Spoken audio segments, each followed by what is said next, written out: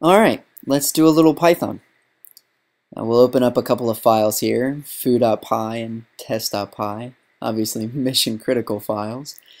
Uh, and just so you can see what happens, we'll open up the connect tab uh, so that when I hit command enter to eval, you saw the little client pop up saying it was connecting. Now foo actually exposes this say function here, and so what we're going to do is we're going to import it and call it from our test file. And uh, it prints to the console. And you'll see if we go down here, uh, all of the standard out is being piped into light table. So we can see that right down there.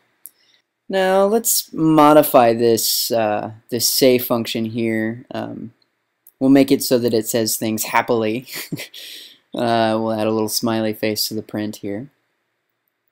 And if I eval this, it's being injected into the same process. So when I call it again from test, you can see it's picking up the new version of it.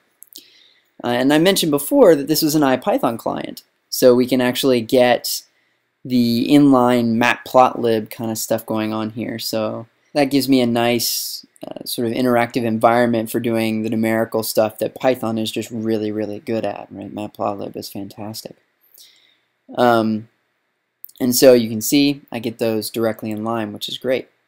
Now we can clear them out real quick and there we go. Back to kind of where we started.